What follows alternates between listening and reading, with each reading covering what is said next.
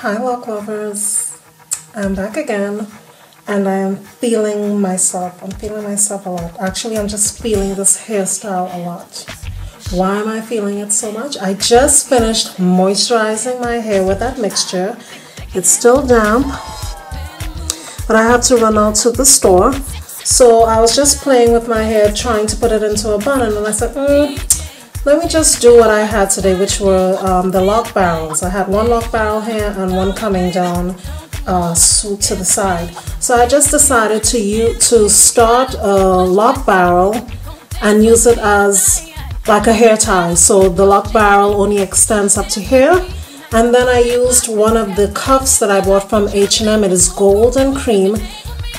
There's the binding for the back and I just clipped it on. I bought that from H&M at uh, for $7.99 I believe over the summer. But they have some really nice ones in stock right now for fall. So you're gonna get some beautiful colors. But what I did was I just loc barreled the hair till here used it as a hair tie then extended it with this H&M cuff.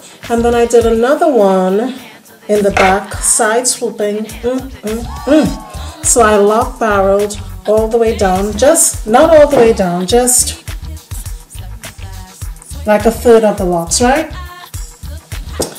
And I'm going to leave that like that because I'm just running out to the store to come back and then I'll take it out to dry. But these are little things you can do really fast uh, if you have to just step out for a minute.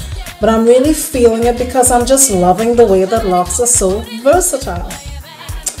I'm telling you, you guys can do this like this is Victoria's Secret style hair loc edition. I'm loving it. Look at that, ladies. Oh my gosh. And don't sleep on this. Don't think I am loving this because of length, right? Yes, the locs are very um, long. Who gives a shit?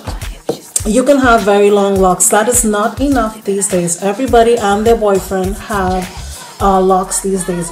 If you have locs to your for your locs to be the shit and to be really hot and your hair has to be healthy, it has to look moisturized, shiny, whether it's thick locs, thin locs, in between locs. You know, you have to have something going on. Give me something else besides length. Length is not enough.